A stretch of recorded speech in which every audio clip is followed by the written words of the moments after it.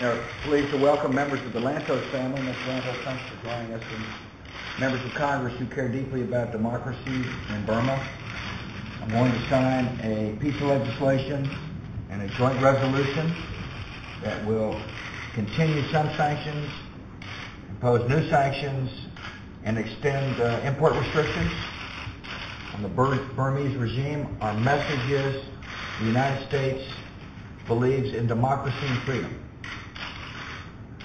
Not only will I sign the joint resolution, I'm also looking forward to signing the Tom Lantos Block Burmese Jade Act of 2008. Thank you all for joining us. Thank you for your care.